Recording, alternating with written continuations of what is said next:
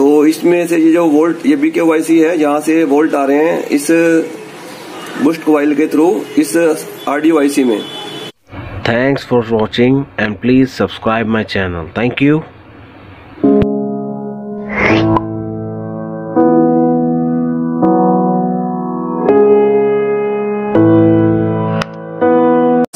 मेरे पास एक ये वीवो का मोबाइल आया था ये डेड फ़ोन आया था मेरे पास बिल्कुल।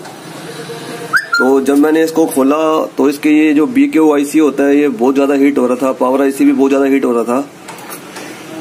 तो इसका जो ये ऑन ऑफ़ वाला बटन होता है, इस ऑन ऑफ़ वाले बटन में शॉर्टिंग थी। यहाँ पे वाटर डैमेज था। मैंने इसका बी के आईसी भी मतलब चेंज करा, लेकिन जो चेंज किया था, वो बी के वो भी गर्म हो रहा था। तो इसके जो ये बटन है, इसके नीचे से ये शॉर्ट था। इसको शॉर्टिंग मतलब वाटर डैमेज था तो साफ़ करने के बाद ये आईसी हीट होना बंद हो गया और मोबाइल ऑन हो गया। उसके बाद इसमें रिंगर नहीं बज रहा था। इस क्वाइल में से धुएँ आ रहे थे, जो ये क्वाइल लगी हुई है। इसमें बैटरी लगाते ही इस क्वाइल में से धुआँ आता था। तो इसमें से ये जो वोल्ट ये बी के है, यहाँ से वोल्ट आ रहे हैं इस बुस्ट क्वाइल के थ्रू इस आरडीओआईसी में। ये आरडीओआईसी खराब था, इसी वजह से इस कॉइल में से धुएँ आ रहे थे। तो इसका ये आरडीओआईसी मैंने चेंज कर दिया है और अब इसमें से धुएँ आने बंद हो चुके हैं। सेट मेरा बिल्कुल ओके हो गया है।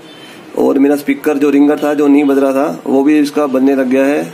आपको दिखाता हूँ चेक करा के। तो ये वाटर डैमेज फ़ोन था, ये इसे डीलर का फ़ोन था मेरे पास। उस डीलर ने इसमें पूरा ट्राई करा, उससे नहीं हुआ। तो मैंने इसको ओके कर दिया।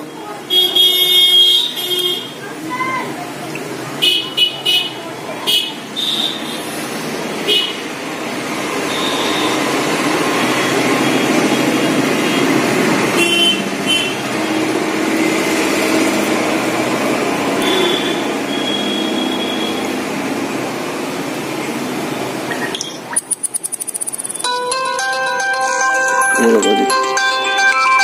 इसका रिंगर भी बिल्कुल ओके हो गया है और ये मोबाइल बिल्कुल ओके हो गया है। बहुत अच्छा लग रहा है इस मोबाइल को ठीक करके मुझे। ऐसे ऐसे फ़ोन ठीक करने में मेरे को बहुत बहुत अच्छा लगता है। मतलब बहुत बढ़िया फीलिंग आती है। अंदर से। थैंक यू आशु सर, आपने जो मुझे इतना अच्छा सिखाया। बहुत बहुत शुक्रिया सर आपका।